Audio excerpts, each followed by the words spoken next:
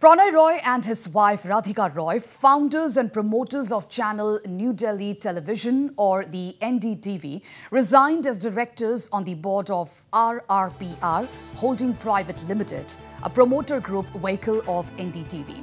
RRPR Holding, the promoter group vehicle of NDTV, holds a 29.18% stake in NDTV, which is being taken over by the Adani Group, owned by businessman Gautam Adani.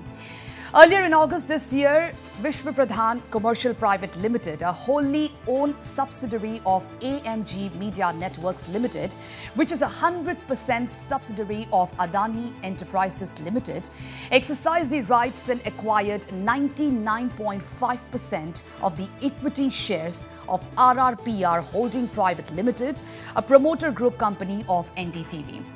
Following this, Adani Group decided to make an open offer to acquire the next 26% stake in NDTV, which will take the group's total stake to 55.18%, enough to take ownership right of NDTV.